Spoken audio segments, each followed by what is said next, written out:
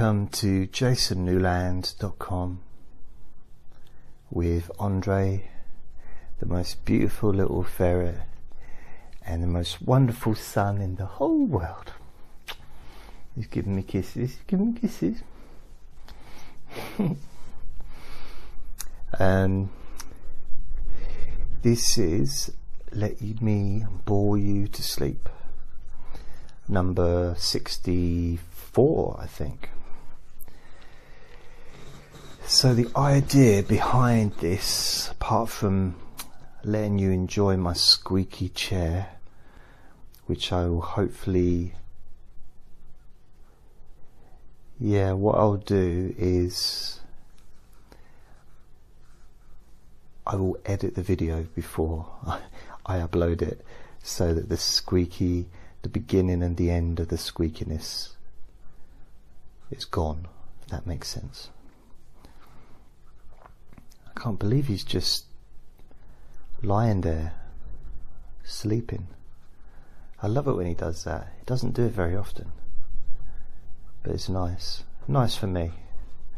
I think it's nice for people watching as well because he's got a bit of a little fan base, and he's uh, he's so beautiful. And some of you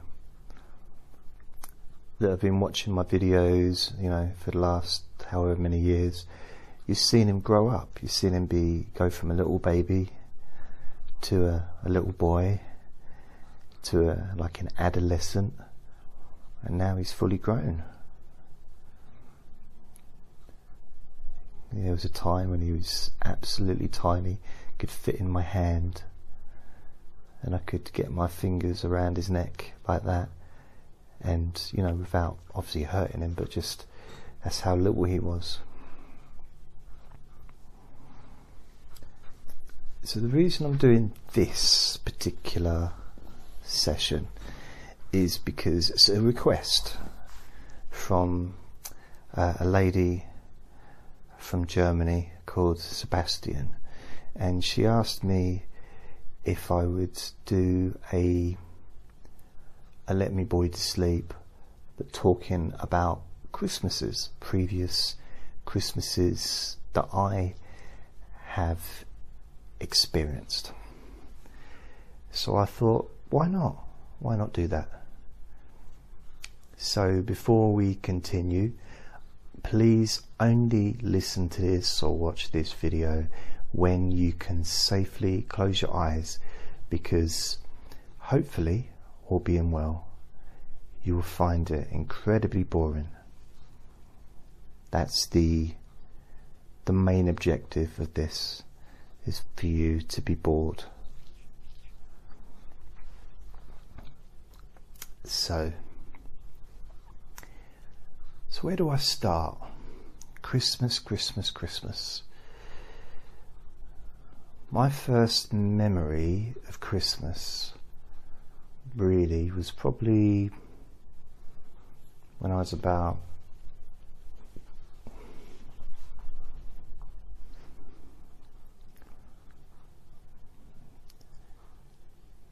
seven, eight, not eight, nine, maybe ten, maybe eleven. Kind of. That's probably about the age. Can't really remember yeah, much Christmases before that. There was a period of time where I lived with my three brothers and parents dad and stepmom, and you know Christmases were pretty much the same. They, they were lovely, but they were kind of, uh, in a sense, they'd kind of mixed together. They'd sort of mingle together into one because they're very, you know, just the decorations and Christmassy stuff, and you know, kind of you know, kind of mixed together. I think if, hope that makes sense. Not in a bad way, just in a in a memory way. I think one of the things that I remember, I remember the some of the presents that I got for Christmas was I got a telescope one year, and it was a Tasco. I think it was Tasco telescope, and it was white with, but the the ends were black, so the it had so it had a cap on the end which you needed to take off in order to see anything. I discovered after about two weeks of trying to use it. It's not working, Dad, it's not working. I can't see anything. I'm looking at the sky and it's just black. And it's, it'd say, That's because it's night time, son.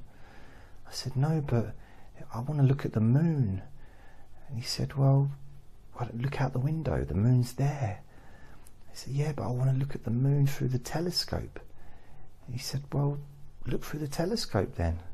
I said, But I can't see the moon. He said, Well, if you direct it out of the window, look out of the window, you might be able to see it. I said, Yeah, but even when I do that, it's, it doesn't, nothing. And eventually we discovered that the cap was on, you know, the the black caps that was protecting, I guess, the um, the other end of the telescope. and I had a bunch of lenses, uh, different lenses. One was you look straight through it, and you, you looked through all of them, but one was where you looked down, and because with telescopes it's kind of like a mirror. It's not quite. It is a mirror inside, so I think things. If I remember rightly, things were upside down. I think. But it's it's been a while. It's a long time ago. And so I had this telescope. I discovered a few things. I also had a sun filter so I could look at the sun through this filter thing, which was quite cool. Um, again, you need to take the cap off the end for that to work as well. You know, um, what I noticed is I used to focus the telescope on the moon. And just in the time it took me to get out of my clothes and into my pajamas, the moon had moved. Or the telescope had moved, one of them or both at the same time. But I, I, I, put it down to the moon because, you know, I was studying uh, astronomy. Uh, well, astrology to start with. Then, then I got corrected and so "Well, that's a different thing." I said, "But it's got stars." Yeah, it has, Jason. They patted me on the head and sent me to bed. But eventually I started reading astronomy books. And it was one of those situations, and I've done this a few times in my life, where I was reading books and I, I had no idea what I was reading. Apart from books that I was bought, that were bought for me for Christmas, um, I used to rent, you know, get books out of the library and I'd read them and they had lovely pictures and they smelt nice. And I'd be sitting there and I'd for hours reading them. And I didn't know what I was reading. I didn't understand really hardly any of it. But there was something about wanting to learn things that were I never found it very interesting to learn something that was easy. It's for it was more a challenge to try and learn something that was, uh, you know, fairly complicated and fairly perhaps specialized. So I did learn a bit along the way, but I still couldn't tell you now, you know, much about it because I stopped reading those books a long time ago. What was strange is I actually lost a little bit of interest in astronomy. But because my dad had bought me that telescope, and it's a really good tele- telescope, and every birthday and Christmas for a few years, I'd, I'd get stuff about astronomy, and I just I didn't have the heart to say that I wasn't really interested in it. Um, anymore, but I was for a while.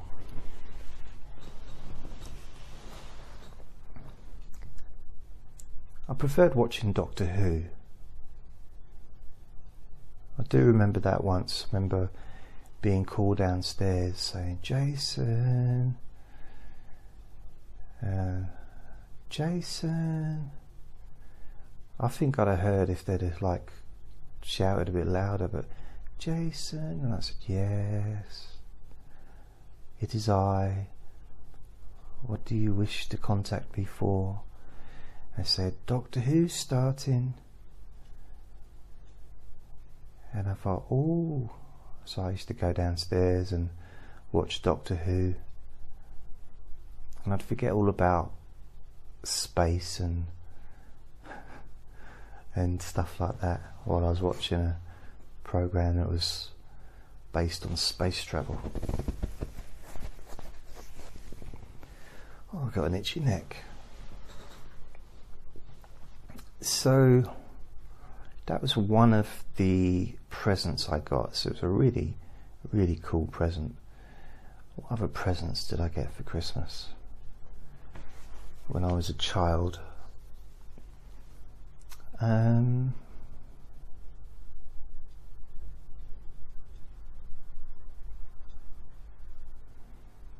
just trying to think. I remember I got a present from my stepmom, and there was a card on the front of it saying, Thank you for looking after your little brother, you know, for the last six months, because she'd started working part time, which meant I was coming home from school and looking after him until uh, she got home from work. So I was looking after him for a couple of hours every night and all the way through holidays as well, all day during the holidays.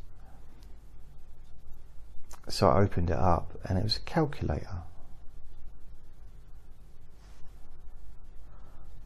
You heard right calculator. I can't imagine any situation where a calculator would be a present.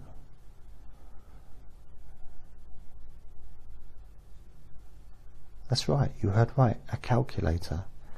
That was the uh, thank thank thanking gift for no you you did hear right it was a calculator so yeah, that was. Um, yeah, I should move on from that, really, shouldn't I? I should let it go, but yeah, I should stop moving around in this chair because it's squeaky, and I know it can be a little bit alarming. Not alarming, but you know,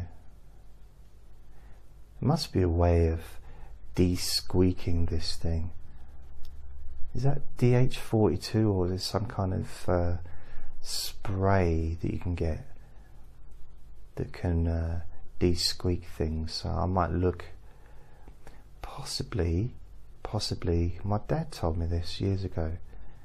Um, polish, you know, like table polish, spray polish that you can use for dusting and stuff if you spray that on hinges of doors or door hinges, the hinges that are connected the doors to the uh, door frame, it de-squeaks them. And it also doesn't leave a mess like oil does, doesn't leave a, a well, oil stains and stuff like that. So maybe if I put the chair upside down and sprayed because I've got some uh, I've got some spray somewhere. I think it's in the cupboard in the bathroom. So I could maybe do that and spray that on here because I made a video last week or the week before and somebody sort of said that they listened to it and then right at the end I guess I must have sat up to turn the video off or the audio off and it was a big loud squeak. So I, I edited it. I edited the audio uh, to take that out but I hadn't done it beforehand. And uh, I suppose I forget because I'm not asleep um, when I'm doing these because it'd be quite difficult to do it and be asleep. I think that maybe I sometimes forget why or what I'm doing it for or who I'm doing it for or you know I just get maybe caught up in the moment and just you know just talk about stuff you know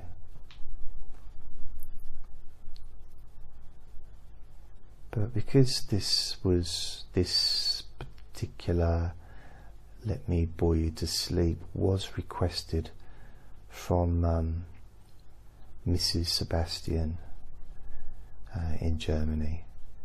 She's an elderly lady, probably about in her early 90s, and um, she was uh, apparently she's the first. I think she was a an Olympic gymnast uh, when she was younger. But uh, lost a gold medal when I found out that she was a man. I think I, I think something like that happened. Anyway, um, I what other Christmases I've had. I remember we used to have a lot of Christmas decorations. I mean, really, you know, my dad has always been, he's always loved Christmas, and even now, you know, he's always um, gone all out with Christmas decorations and uh, Christmas dinners and stuff like that. He's very Christmassy, and um, my first stepmom was as well, and so is my second stepmom. but I haven't really carried on that tradition myself because I've always lived on my own pretty much since the age of 16. There's been times when I've I stayed with my dad a couple of times in my earlier years for short periods of time, but I basically spent I've lived on my own in shared houses in a room, you know, and I never really bothered with the whole decorating part of things. Although I think I did once decorate my room once, but I can't remember when it was. It might be when I had a flat, because I had a flat when I was working at a chip shop when I first left school. So I left school in 1986 and the I left school at April, in April, because that was the legal time that I could stop. But I had to go back to school uh, in I think May June time to take my exams, and uh, I got myself a job so I was 15, so I didn't turn 16 until the end of August. So I was 15 years old and I got myself a job working in a chip shop. And the after living there think it was uh, I ended up living.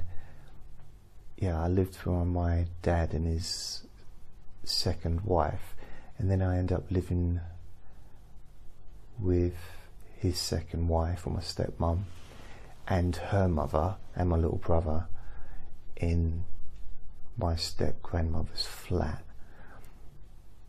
But I was sleeping in the living room on a like makeshift bed thing, like one of those fold up beds, metal things. So I was, it wasn't, I suppose technically I was homeless, but you know, uh, probably at the time I didn't really see it like that because I was with family, but um, I didn't have my own room. And uh, my little brother was sleeping in bed with my stepmom. He was only little, so they, they didn't. He didn't even have his own room. So it's uh, it wasn't ideal, but in the end, they moved away. So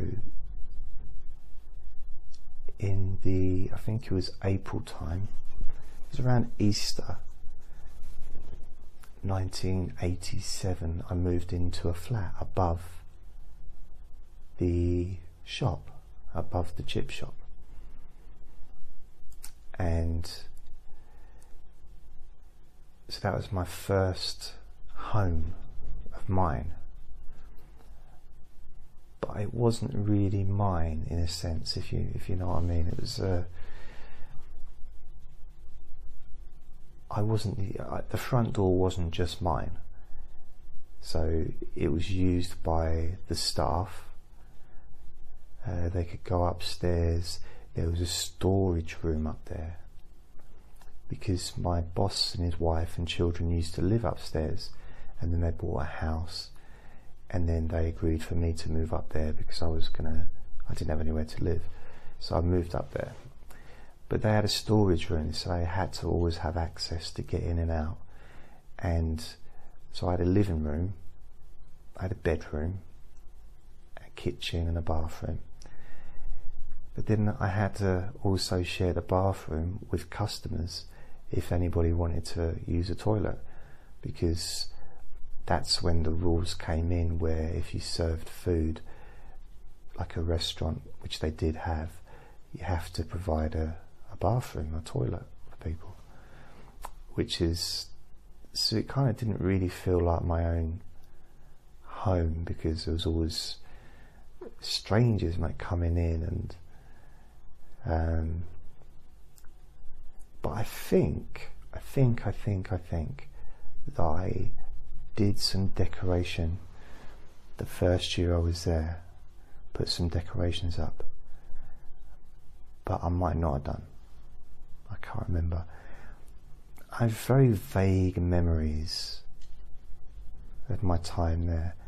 I remember, I remember going in because you'd go out of the back door of the chip shop, and the front door to my front door is directly to the left, and then there's stairs, and there'd usually perhaps be some things connected. I think the yeah, I think there was like a coat hanger where staff would put their coats and things like that.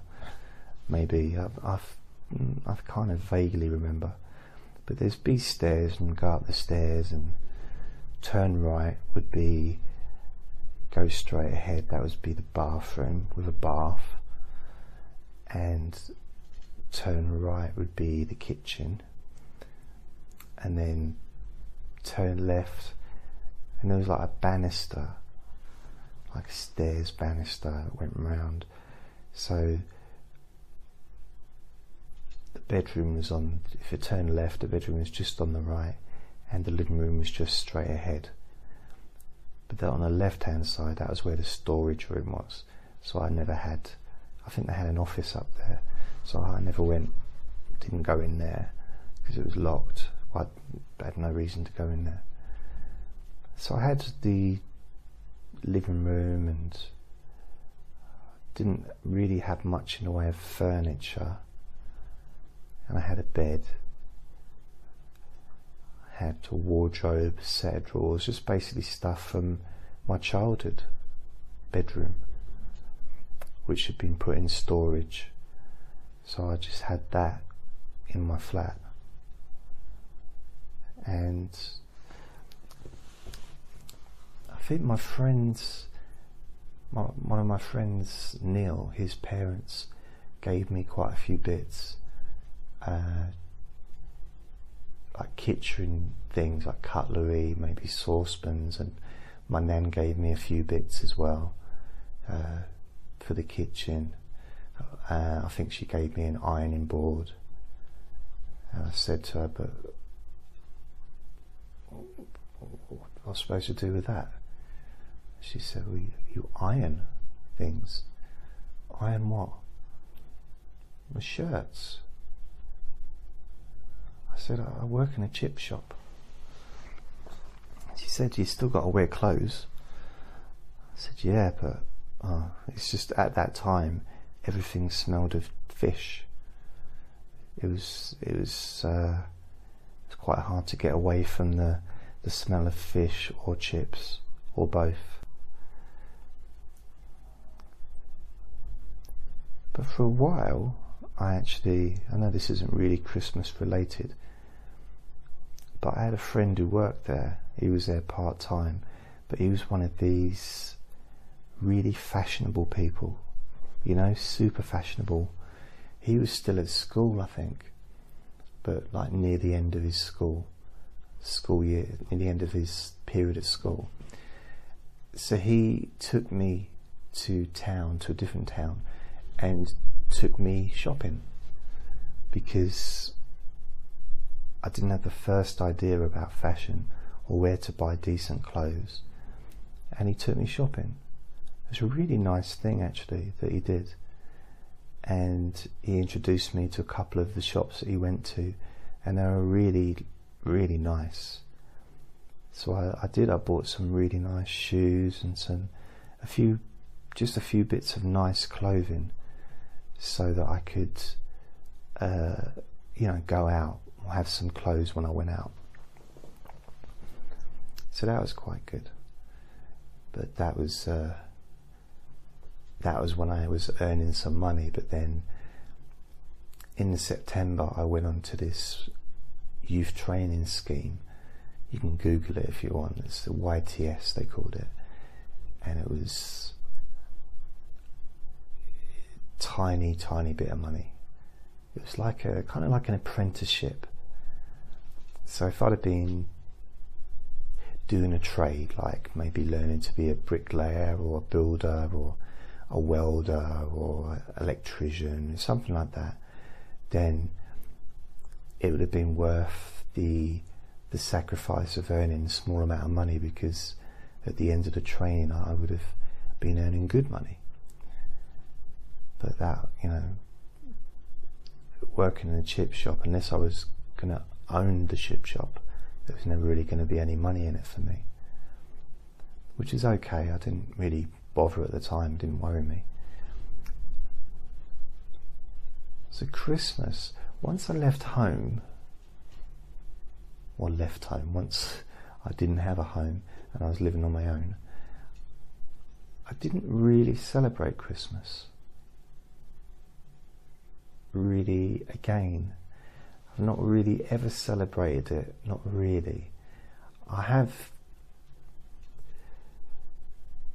been with people at Christmas. So I spent Christmas with my dad uh, and his, you know, my stepmom a few times, quite a few times over the years. But I've also spent a lot of times where I've been just, you know, on my own at Christmas, which I'm used to which doesn't doesn't bother me at all because it's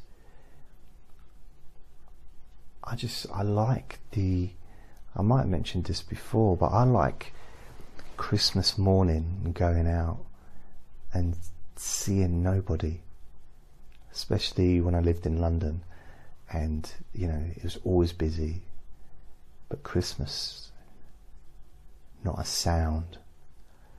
It was lovely. It was just just standing there in the road. And again I don't advise standing in the road to anyone but it was there was nothing no traffic. Everyone was at home I guess eating their Christmas pud or whatever people do. And I do remember once I was about um, 13, maybe 12, and I wanted a bike for Christmas because I, I, did a paper round. I did probably a couple of paper rounds and or paper route, you might call it where you are. And it was a long, a long journey walking because the the paper round that I did was the morning. I did a morning one and an evening one, and I also did. Yeah, I did a, a couple of. Yeah, I did a couple of leaflet rounds as well, where I did them either every two weeks or once a month. So they that was quite a, but they was like 30, 40, 50,000, so it's a lot of them. But with the, the daily ones, early morning and evening, was Monday to Saturday. Didn't do Sunday rounds because those newspapers were full of magazines. I did my brother's Sunday round once and my shoulder took ages to recover. It was just way too heavy, way too heavy. So having a bike was something that I really needed. And I was in the bike shop looking at the bikes. Well, I guess, that, was, that last bit wasn't really necessary for that sentence, but I could have been looking at the bicycle pumps or looking at oil in case I ever get a squeaky chair in the future. So I was looking at these bikes and I thought what I'd like really is a racer because then I could get things done a lot quicker. And I used to dream about it. I used to you know, sit, be in bed, laying down, and I dream about having a racer and having a bike that I could do my paper round and not be walking around in the rain for two hours. And so, oh, wouldn't have to get up so early in the morning. Oh, it was nice.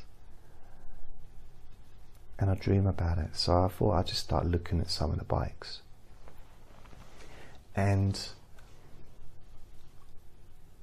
I saw a bike with a label on it. And it had my name on it. Can you believe? Actually had my name and my address with probably sold next to it and it was in, it wasn't outside the shop; it was inside the shop. And I think um, my brothers also had bikes as well. I'm, I'm guessing. And you know, even even though I saw my name and my address, I still didn't believe that I was going to get a bike. That's a bit strange, isn't it? You'd think that would be a bit of evidence there, a bit of evidence. So even though I'd seen it and I kind of knew, I looked forward to Christmas that morning, that Christmas, probably more than any other Christmas ever before or since, because on one level I knew what I was getting, but on another level, I was hoping I was going to get what I knew I was getting because I was unsure. I didn't didn't believe it till I saw it. There's probably a psychological explanation for that.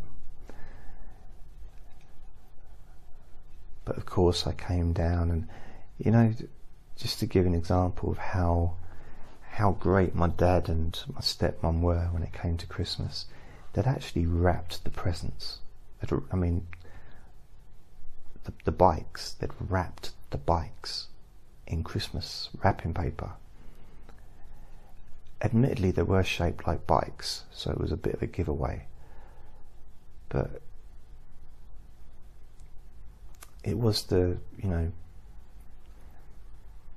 my favourite present I ever got was that bike because it was something I really, really wanted, and it wasn't. I'm not saying that I've never wanted stuff just for the sake of it, but I like something that's useful. And because it was going to help me to get around, it was going to help me to get to school quicker, and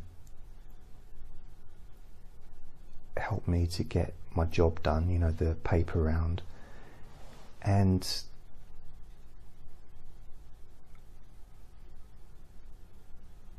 my friend had a bike as well, so we could both ride around on our bikes. And my my best friend was called Dean, and we used to spend a lot of time together outside of school. Uh, weekends, evenings, you know, during the summer, and we'd walk to school together and stuff like that. And uh, it's pretty much the best friend I ever had in my life, actually.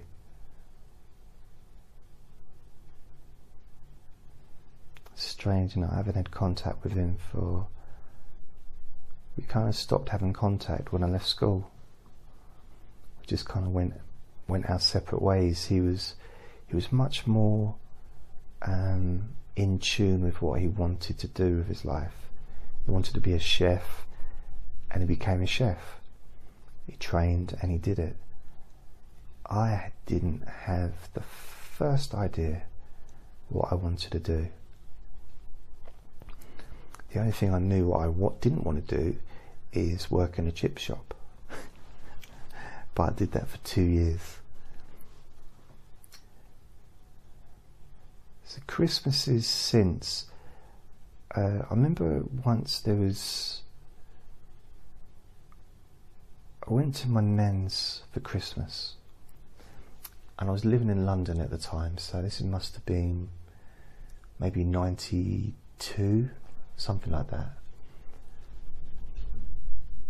And or 91 even, it might be 91.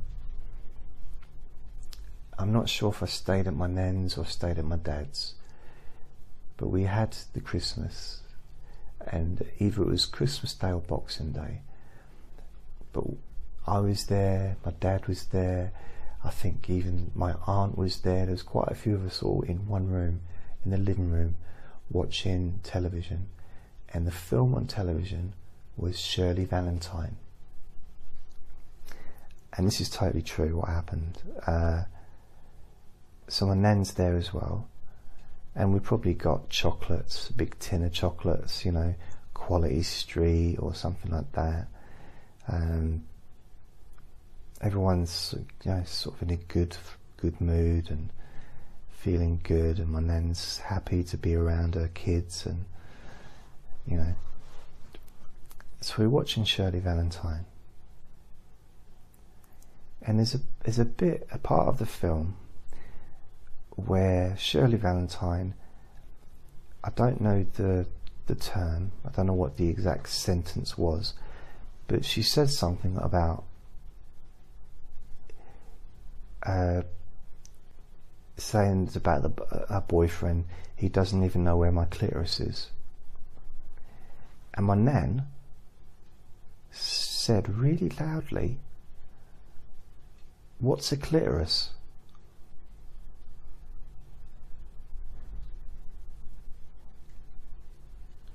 And I had to leave the room. In fact, I think I went outside. I was laughing so much. It's uh, because it was just so this. I've never to have my nan come out with something like that.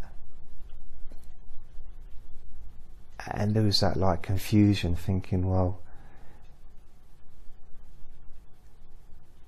my nan must have known something you know, along about that stuff. She had five children. She must have had some kind of knowledge. But it's just, it was one of the funniest things uh, in my memory of her. Just, it just, it's very funny. But again, she was she used to like to decorate her house, and her house always felt like my house because I had lived there for a year before she moved in, and I'd been visiting regularly all my life until she moved out. Probably I don't know, ten years ago, and then she went into sheltered accommodation for the remainder of her time. So that house has always it felt like my home as well. And even the smell of the house, I could still kind of sense that uh, that comfort, that safety, and it's really it's kind of strange because when I slept over, I would sleep in um, the little room. I just had a, a single bed but it was the, it was a room at the front of the house, and her bedroom was also at the front of the house, but it's right next to the little room. And I used to I used to sleep in that little room when I first moved into that house. So maybe that's part of the reason, but there's something about I get the best night's sleep. It's probably the safest I felt is just being in the same, that being close to my nan, being in the same house. I just felt, it's like, I guess it's an emotional safety. You know, that feeling where you can just, you feel protected, you know, even though it doesn't have to be anything from outside. It all comes from within, isn't it? It's sort of feeling, a feeling that we produce ourselves. I don't know if you can hear that wind. It's very windy outside today. Hasn't been very windy inside. But if I can drink enough Coke, I can sort that out.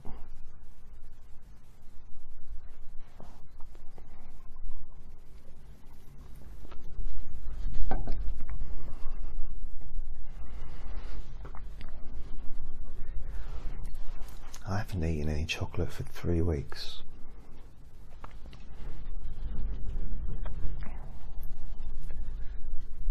That's not really relevant to Christmas, but um,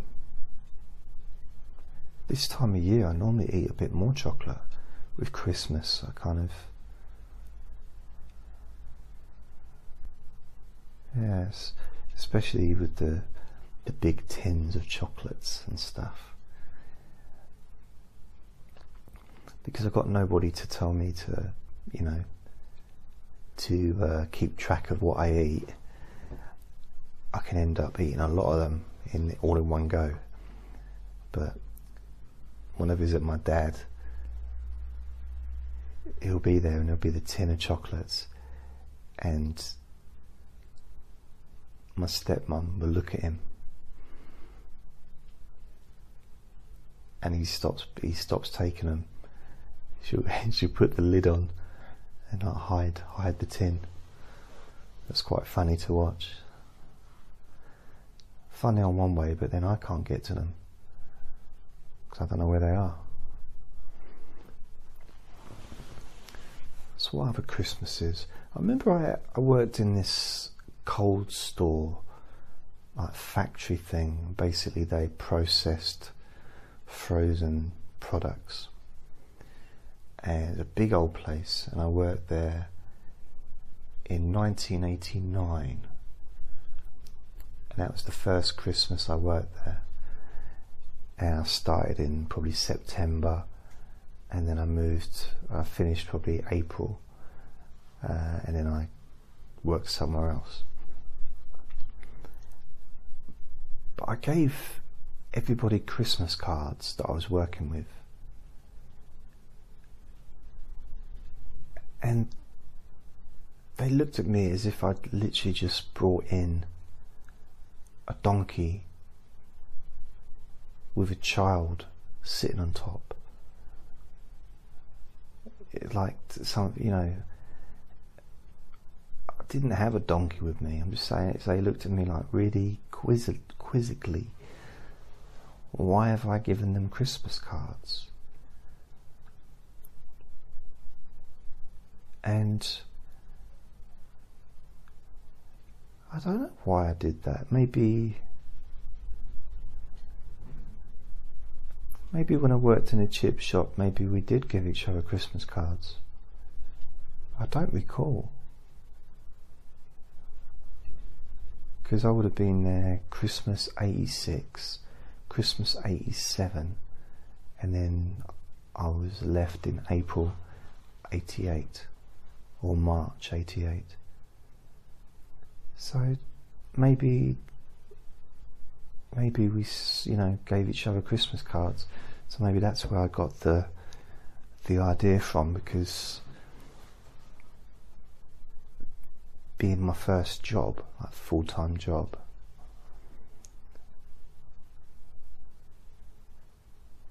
yeah, I remember that. What other things, other Christmases? See, Sebastian, she asked me to talk about previous Christmases, but there isn't really much to say. There's not really much, and it's not supposed to be interesting, is it? But Christmas, just. What other Christmases have I had? When I first moved to London, I used to come um, back to my dad's at Christmas and stay there. Uh, when I was like for the first probably three or four, five years possibly, up to about 95. And then after that, I think I pretty much stayed at home, stayed in London. And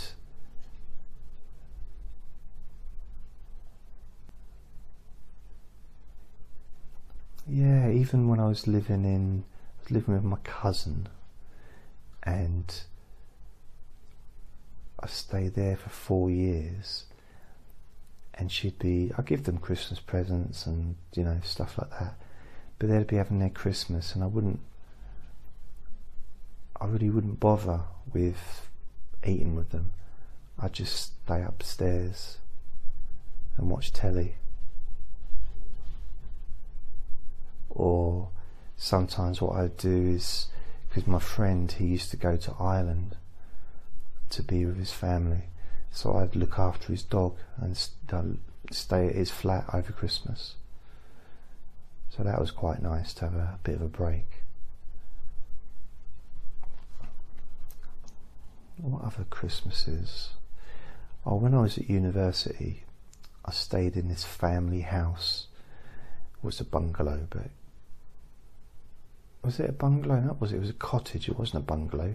It had stairs, so it was a cottage, and lovely, beautiful cottage, and lovely garden and everything. So I was staying in there. I was living there for four years, I think, and or three years. So I don't know. And when was that? I started living there in November two thousand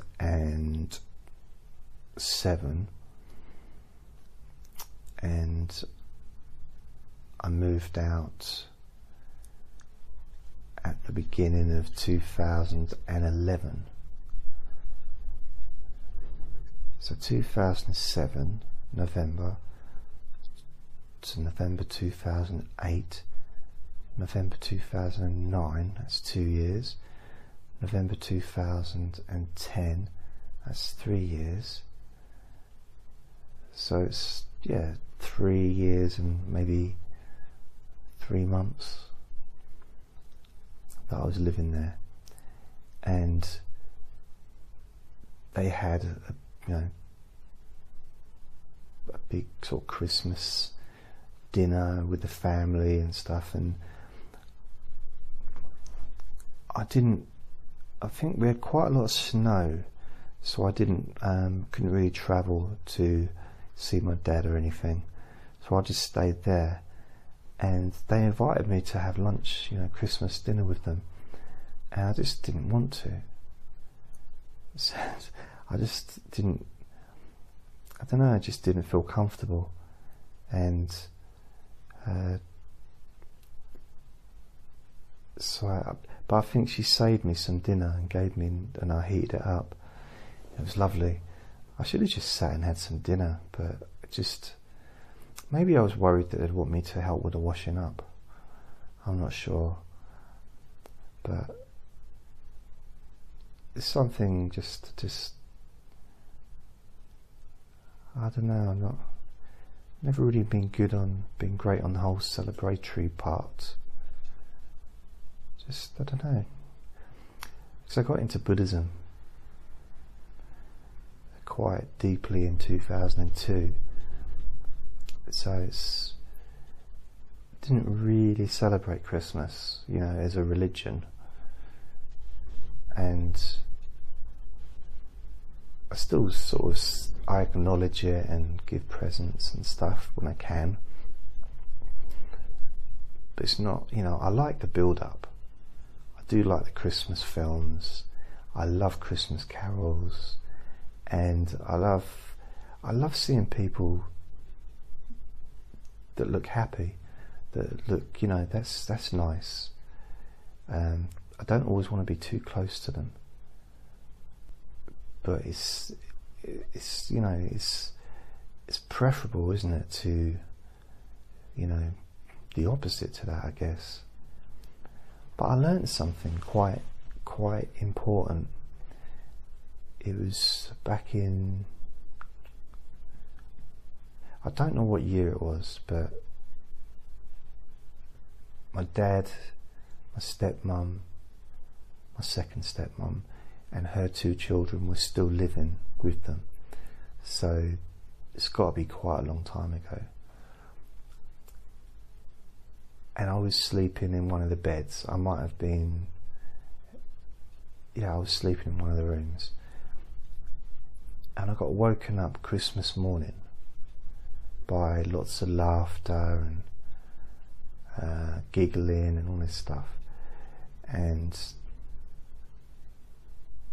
you know, I, I opened my eyes. I was just glad to see there was no one else in the room. But I just, and it's it's it's embarrassing, really. My first thought was one of kind of, uh, you know, how dare them wake me up? How you know, and then it dawned on me that actually getting woken up by people that are happy, having fun, and laughing, laughter, that's got to be the nicest way to get woken up, or one of the nicest ways to be woken up. So it, it sort of changed my my mind, changed my brain chemistry in quite a profound way. Um,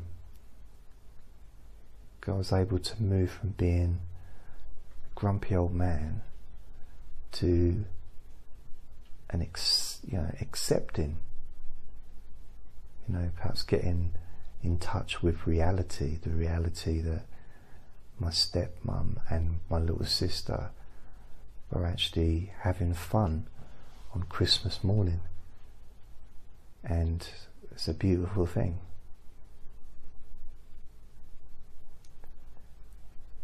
So yeah, I was, uh, and two of the most important females in my life were enjoying themselves. So that was yeah, it was it was nice. I'm trying to think of any other Christmases that are memorable. It kind of I think because I'm 48 now and I keep mentioning it, so I'm a bit worried that I might be becoming old you know that seems to be a thing with some of the older people that keep mentioning, I'm, I'm 79, you know, but I'm doing it already and I'm only 48. If I, if I go this way, I think by the time I'm 80, that'll be the only thing I ever say. That'll be my, my answer to everything. I'm 80. I'm 80. A bit like Guardians of the Galaxy, you know, that tree. I'd be like that, but just saying, I'm 80. So, what other Christmassy stories, delightful things can I talk about? Um,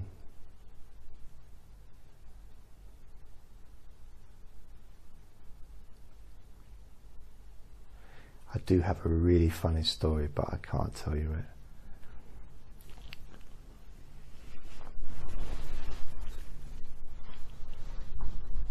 No, I do want to tell you, but I can't. It's uh,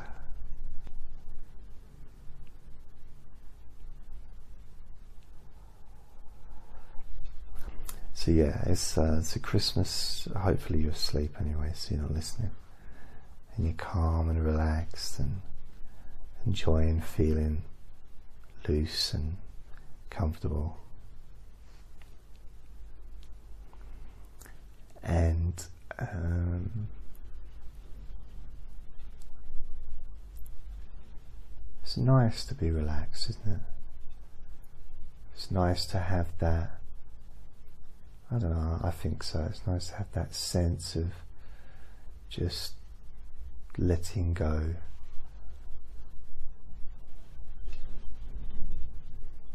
And being able to enjoy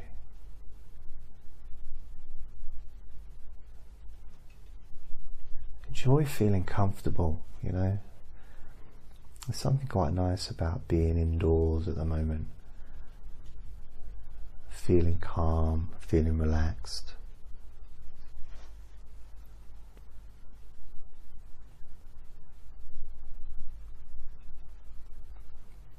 I suppose one of my I quite like the first Christmas I had here in this flat because it was the first time I had my own flat, my own space where no one else had access. First time I had a my own bedroom and a living room and a kitchen and a bathroom and a storage room and a hallway, a front door that no one else could get into. Um, no one else has got a key to, you know, it's, it's the first time I've ever had this. So it's nice. It's more than it's really great. Um, so the first Christmas here was in 2000 and I don't know what year it was. Was it 2014?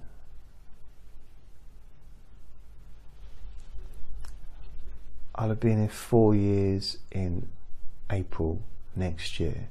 So that's four years in 2019, which means I must have moved in here in 2015. So December 25th, 2015, I had Andre and he'd, I'd had him since September. He was just big enough to be able to, uh, for me to take him for walks and I think that first year I, actually made a video Christmas Day and I filmed him and I, I bought in presents and I'd, I'd wrap the presents up and everything. And he had a great time. But like a lot of the things I've deleted that video and it's gone forever. But I might do one this year. Just maybe like a, a nice little live broadcast with Andre Christmas morning or Christmas afternoon. And just to say hi maybe but I was also that time I was drinking lager so I was drinking quite regularly, like in the evenings and stuff. And over Christmas, I think I bought quite a few packs of lager, you know, that were in the storage room. So I had a lot of them to drink. But I haven't really drunk alcohol, not really like properly for a couple of years now. I just, I don't, I don't know, it's something about lager. I'm not really, I've never been a, a drinker of like hard hard liquor, you know, kind of. Um,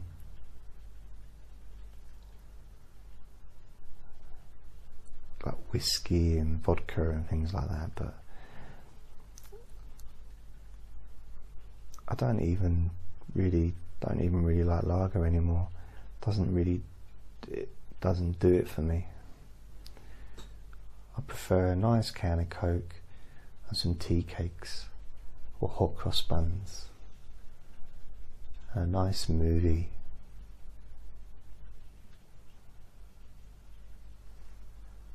Yes. I'm try and hold my. I should try and hold my stomach in. I shouldn't have done it in this jumper. This is an old, old jumper.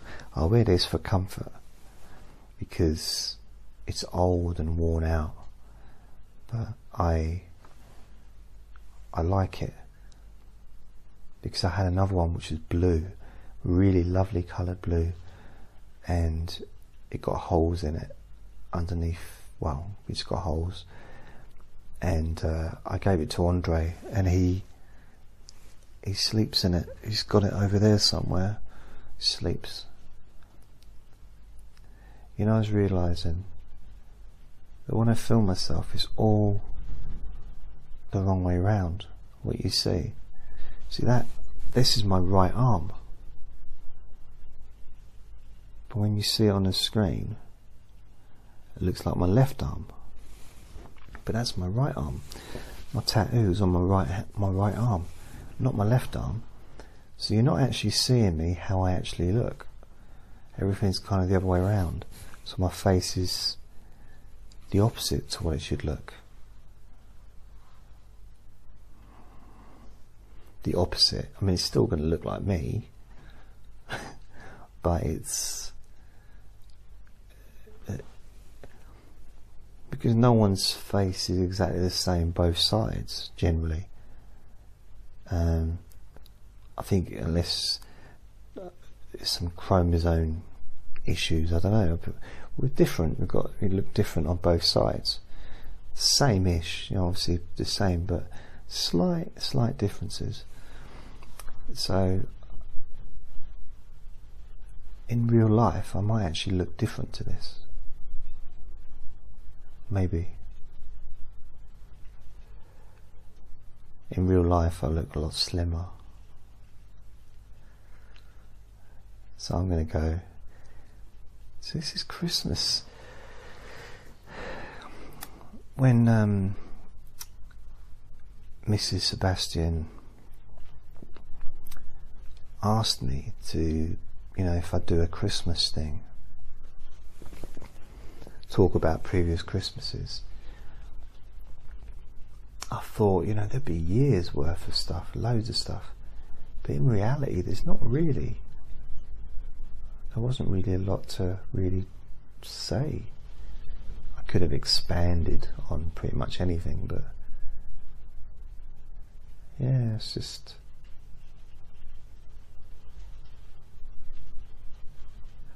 What I used to enjoy, I still do, is Top of the Pops on Christmas Day it's usually on about one o'clock, midday, two o'clock, something like that. And it'd be the the hits from the previous year, you know, through 2018. And uh, it's one of my favourite things, always was, all through childhood. Top of the Pops on Christmas Day. And uh, it used to be exciting to uh, you know, to find out who was going to be the Christmas number one. I used to love that. I think what we should do, we should all get together and make sure that Cliff Richard gets to number one.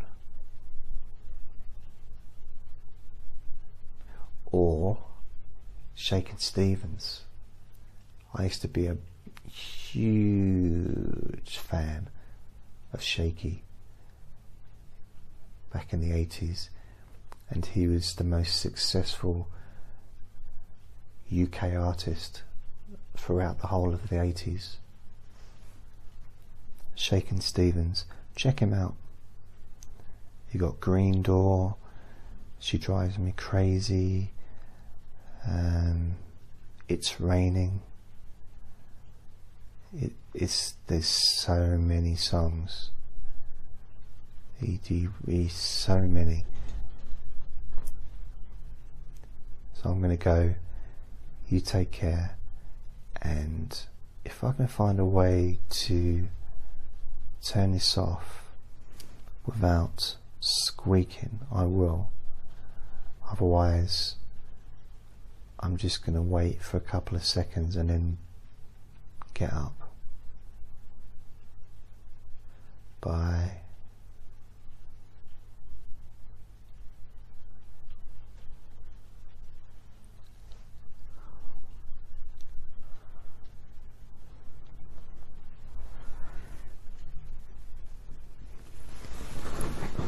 No, it's too loud.